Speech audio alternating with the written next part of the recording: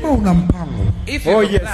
wa kuwa to be na kampuni kubwa au na huduma kubwa of a greatest ministry, au na familia nzuri, of a beautiful family, usikubali never accept kupiga hatua yoyote. to take any step. Kama hujajielewa ni nani, Napokea. na usithubutu, and never dare that. kwa sababu mimi ni mtumishi wa Mungu, mimi ni baba, mimi ni mtu I am a Mzima. I am a matured one. na ni mtu niliyejitambua I'm the one who recognize na kujitambua and recognize nafasi yangu katika mwili wa my Kristo. position in Christ. Ninachokushauri What I'm counseling you, listen to me kuna Na vitu hata uombe The things, even if you pray, can never move. Utakachoamua Oh, yes.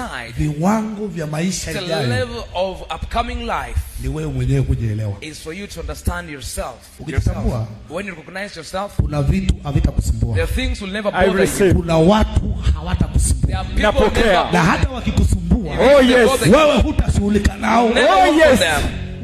Oh yes.